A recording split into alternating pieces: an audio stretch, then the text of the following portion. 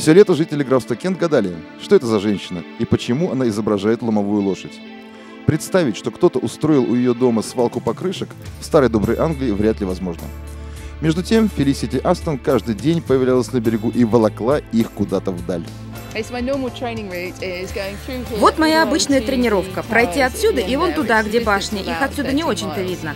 В общем, тут около 13 миль. Если я сделаю это сотню раз, то получится примерно тот путь, который мне предстоит. Эта история началась 4 года назад с очень странного звонка в наш филиал в Юго-Восточной Азии. Семь девушек собрались вместе, чтобы устроить увеселительную прогулку.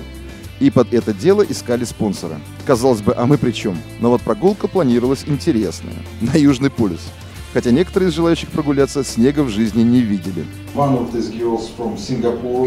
Uh, Одна из девушек, она из Сингапура, была нашим клиентом. У нее была боксовая версия нашей программы. Она посмотрела, а там на коробке телефон техподдержки. И вот она звонит. Алло, это поддержка? Да. Ну так поддержите нас. Та прогулка закончилась удачно. Но только Фелисити Астон, которая вела группу, вернулась не вполне удовлетворенной. Похоже, чисто женское общество долго не могут выносить даже сами женщины. Пусть вокруг бескрайняя ледяная пустыня, все равно хочется сбежать. Я еще никогда не оставалась так надолго наедине с собой. Я даже не представляю, что я буду чувствовать. Страшновато, если честно. Можно ведь так глубоко уйти в себя, что потом и понимать перестанешь, кто я, где я и зачем. И вот Фелисити звонит нам. Я, мол, хочу совершить переход через Антарктиду в одиночку. Я говорю, невозможно. Ты что, спятила? Но было ясно, с нашей помощью или без нее она все равно пойдет. В Антарктиде никто не разводит оленей или ездовых собак. Фелисити вышла в путь сама, запряженная в нарты, на которых было 85 килограммов груза. По ходу они, конечно, становились легче за счет еды, но это вряд ли может радовать, когда ты один и ближайший магазин на другом континенте. Топливо, еда, палатка, инструменты. Я старалась брать минимум необходимого. Тут ведь каждый лишний грамм почувствуешь, если тащить его на себе 1700 километров. Ей предстоял огромный зигзаг через весь материк. От ледника Росса на шельфе, через Южный полюс и до залива Геркулеса. Если теперь посчитать, Фелисити проходила километров по 30 каждый день. Когда я понимала, что кажется все, конец, не могу больше, я просто говорила себе, ну чего ты боишься, это ведь лишь вопрос концентрации твоей внутренней энергии. Перед тем, как пройти Антарктиду, Фелисити Астон прошла обследование. Причем не физического здоровья. Ее обследовал маститый психиатр. Ей ведь, по всем расчетам, предстояло пару месяцев разговаривать только с собой.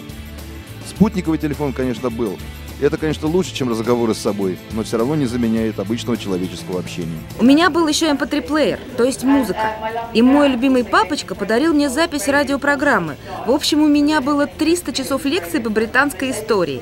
У многих людей нет на это времени, но мой папа знал, что у меня-то будет. Этот курс лекций на ходу закончился для Фелисити без серьезных травм и обморожений. Конец января – это ведь самый разгар антарктического лета, так что ниже 30 градусов температура вроде не опускалась.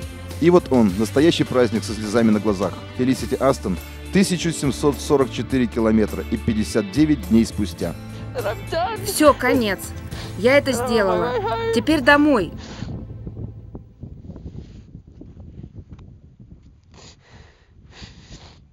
Anything I can think Господи, сейчас бы маме написать, чтобы знала, я здесь, я в порядке. За мной самолет прилетит. Я так... Я даже поверить не могу. Я же через Южный полюс на лыжах прошла. Дома Фелисити ожидал ледяной прием. На террасе Лондонского национального театра все было оформлено в стиле тех мест, которые теперь ей очень хорошо знакомы. Хотя, конечно, ни ледяной бар, ни скульптуры изо льда не смогли охладить теплой атмосферы, где родители гордились, журналисты засыпали вопросами, а спонсоры дарили то, чего так не хватало в ледяной пустыне. Только не ешьте его, не ешьте! Тут же карта всего пути. Наверное, лучше на стенку повесить. Возвращение в цивилизацию далось все же непросто. Фелисити, как она и боялась, пришлось снова привыкать, кто она, где и зачем. А с этим у природной британки из графства Кент действительно возникли проблемы. Я, когда вернулась в базовый лагерь, мне все время приходилось напоминать себе, что я опять среди людей. Что я, например, больше не могу ходить по нужде прямо там, где стою. Вот так, посреди разговора, просто снять штаны и вперед. Без всякой техники, на своих двоих, через всю Антарктиду одна. Фелисити Астон стала первой в мире, кто это сделал. Такой путь еще не проходили даже представители другого пола. Того, что называет себя сильным. Ну что, передохнешь пару лет, а потом опять? Может быть, может быть.